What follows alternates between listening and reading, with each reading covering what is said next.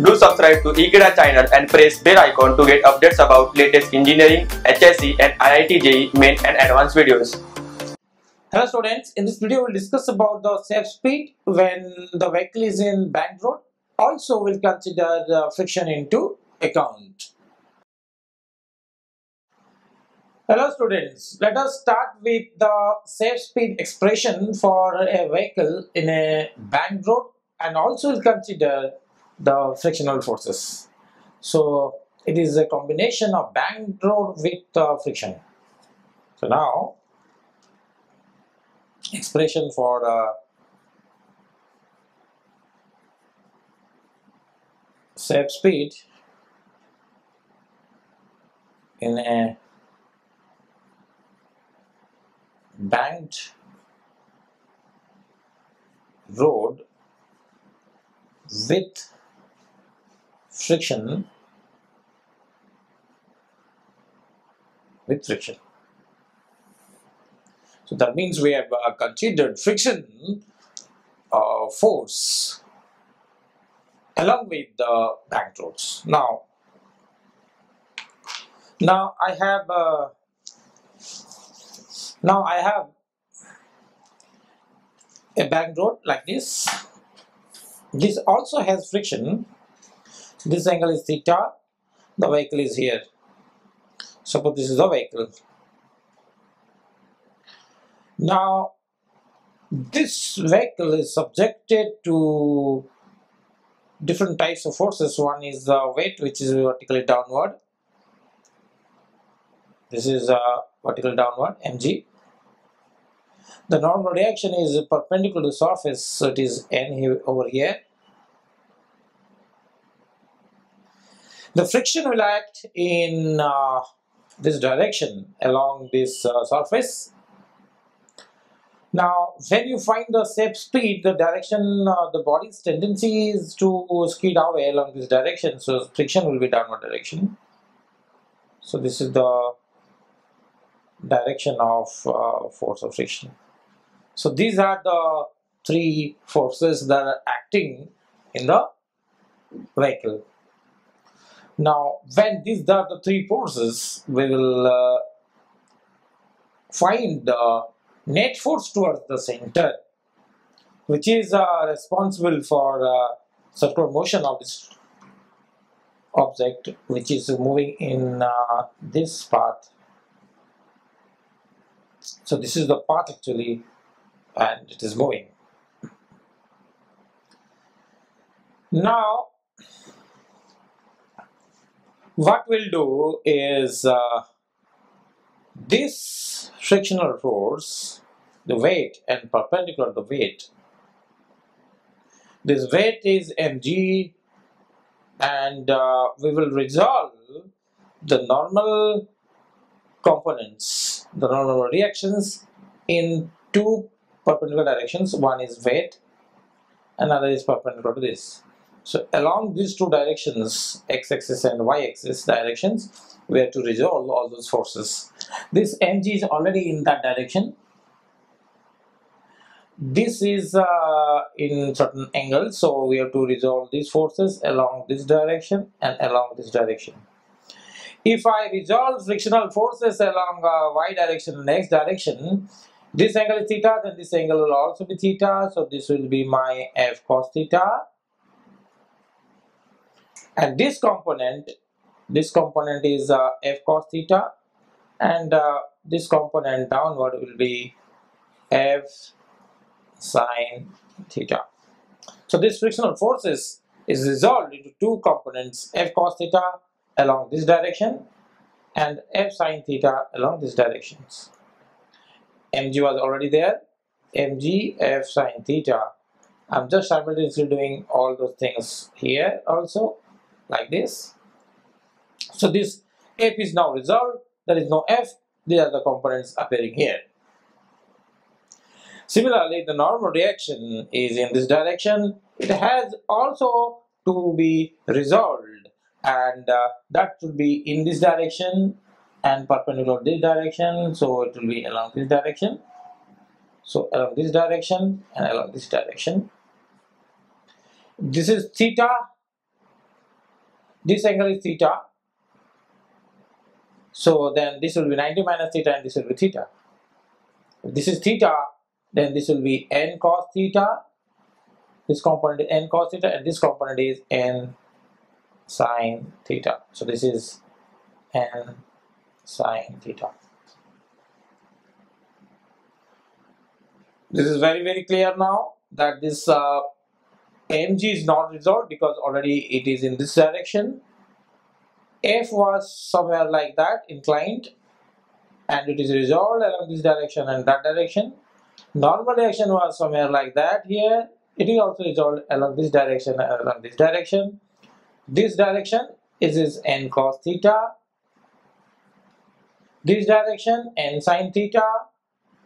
Force of friction along this direction f cos theta this direction downward direction f sine theta mg remains unresolved. Now these are the forces.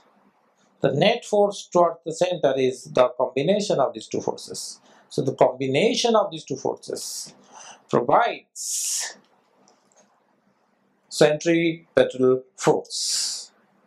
And these vertical components will balance out so we'll write those things that uh, what we've done we have uh, mg unresolved force of friction resolved as uh, f cos theta and f sine theta. Third, normal reaction resolved n cos theta and n sine theta. Now, the centripetal force is provided by the centripetal force is provided by this one.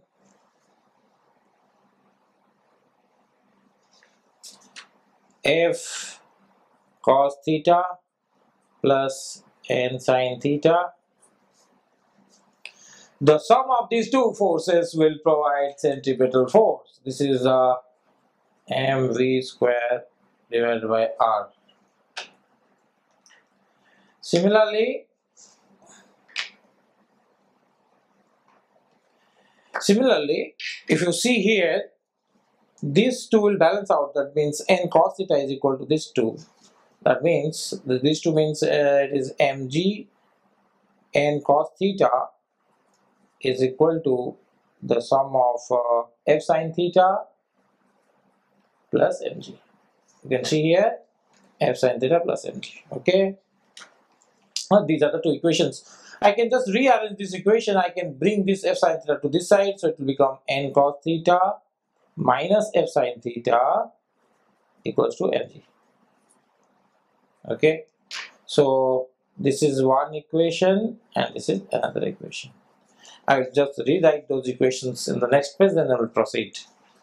Those two equations are f cos theta plus n sine theta this is the first equation is mb square divided by r.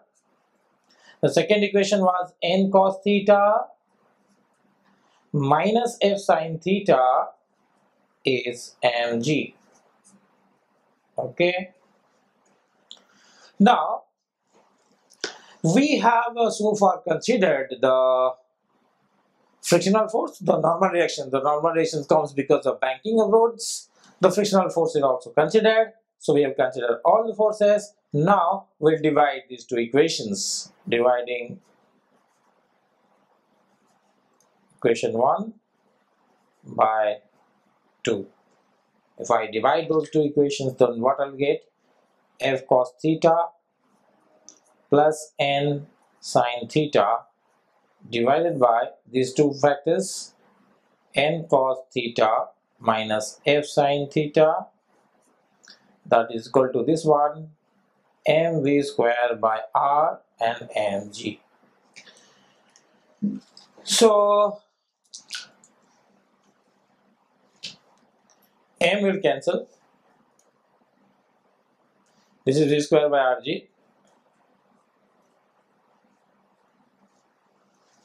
Okay, this is uh, v square by rg, and uh, this one is f cos theta plus n sine theta over n cos theta minus f sine theta.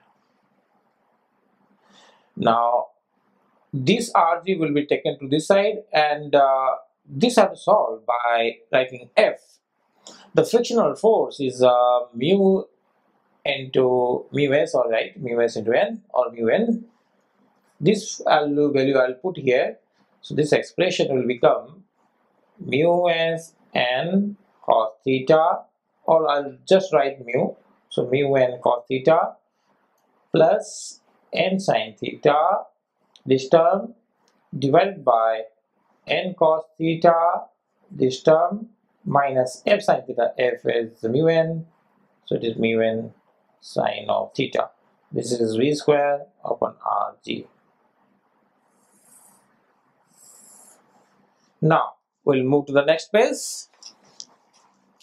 what I'm getting is that v square upon rg equals to this one. And in this expression I divide n because I can take n common, n common and out, they will cancel out whatever is left that I'm writing mu s cos theta mu s cos theta plus sine theta plus sin theta divided by cos theta minus mu sin theta cos theta minus mu sin theta. So from here I'll write v square as uh, rg into mu cos theta.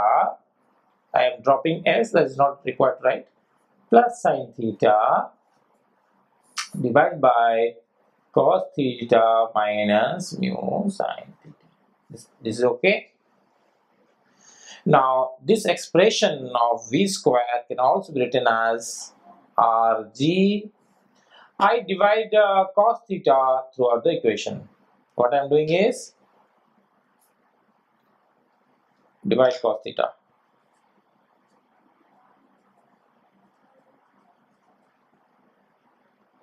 in each and every term in this expression. If I divide cos theta, what I'll get? I'll get uh, something like this. Rg, this will be mu cos theta divided by cos theta plus sine theta divided by cos theta whole divided by cos theta here cos theta divided by cos theta minus mu sine theta over cos theta. This is the expression I am getting. This cos theta will cancel out. This cos theta will cancel out. This sine theta upon cos theta becomes tan theta. This is also tan theta. And we are getting rg mu plus tan theta over 1 minus mu tan theta. So this is your expression for v square what is the what is the expression for uh, v that way to find out what is the expression for v the V is Rg mu plus tan theta over uh, 1 minus mu tan theta under root. This is what is the expression we're getting and that is the final expression. This is the maximum safe speed in case of banked road